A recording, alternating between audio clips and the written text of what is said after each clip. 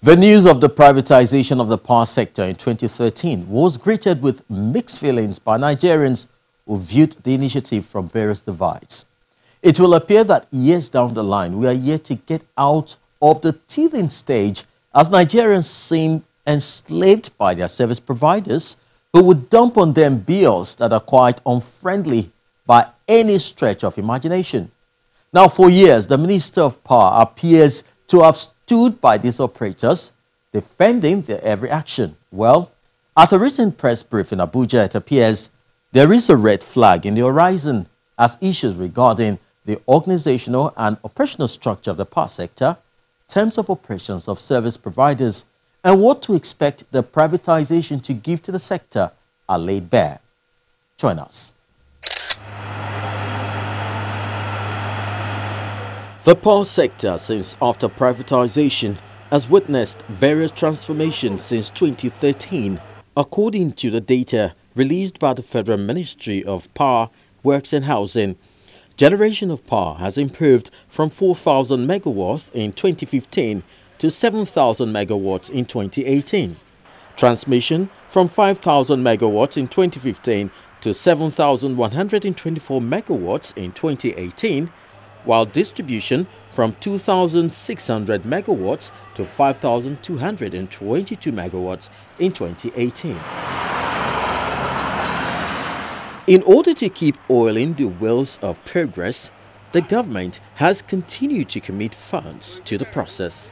This, according to the minister, has yielded lots of results, but there are still areas of concerns. We are all aware that recently NERC has revealed the unauthorized use of money by Ibadan Disco and taken some regulatory action. Government has also responded to claims of debts owed by MDAs to discos before this administration, which was alleged to be in the region of upwards of over 70 billion naira. At the cost of government, several hundreds of thousands of bills, I think it was about 450,000 bills, were painstakingly verified and government ascertained that 27 billion was owed by federal MDAs to discos. The payment was by a set-off of this amount against the sum of over 500 billion owed by the discos to NBET. In the course of plugging the metering gap in the country, the minister says about 37 billion naira has been committed to the meter asset provider scheme. The regulations require discos to contract with their MAPs in order to promote a harmonious relationship and reduce friction and disputes.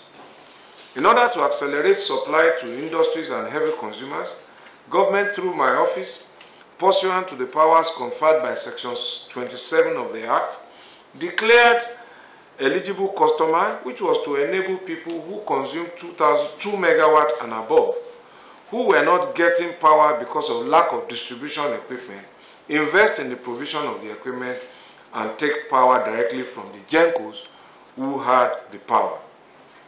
The DISCOs initially resisted and are currently giving reluctant cooperation to a policy meant to supply power to people they cannot supply. All of you will of course remember that NERC not the Ministry of Power and not the Minister, approved a tariff increase for the sector. When the public complained, it was I, not the discos, who stood in the forefront of explaining to the public.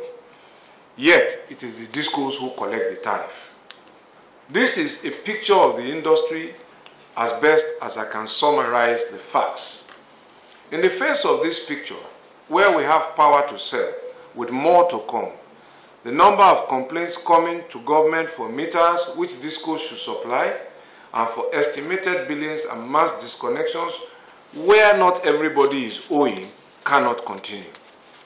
Government must act and will do so. The discos bought these assets with their eyes wide open and they must compete to deliver or exit. Small businesses who need very little power are not getting enough because the discos cannot take the power to them. The investment of GENCOs is threatened because they cannot utilize the capacity that they have installed. In order to improve service to small businesses, government acting through the Rural Electrification Agency is linking small entrepreneurs with markets like Ariaria in Aba, Sabongari Market in Kano, Sura Market in Lagos, and 15 other markets.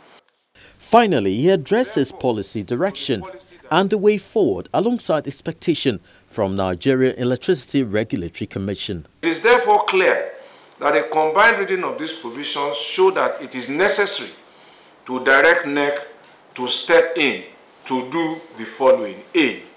Ensure that the DISCOs improve on their distribution equipment and capacity to take up the available 2,000 megawatts in order to optimize the use of electrical resource produced by the GENCOs, and I direct NERC to immediately act in this regard.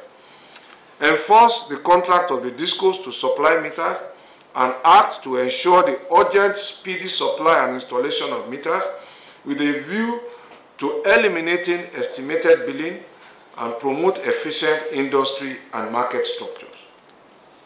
To stop the DISCOs from threatening private entrepreneurs from entering the market to supply eh, consumers whom the DISCOs cannot yet supply, and to license such persons subject to terms and conditions in order to, quote, promote competition and private sector participation and avoid a private monopoly of power.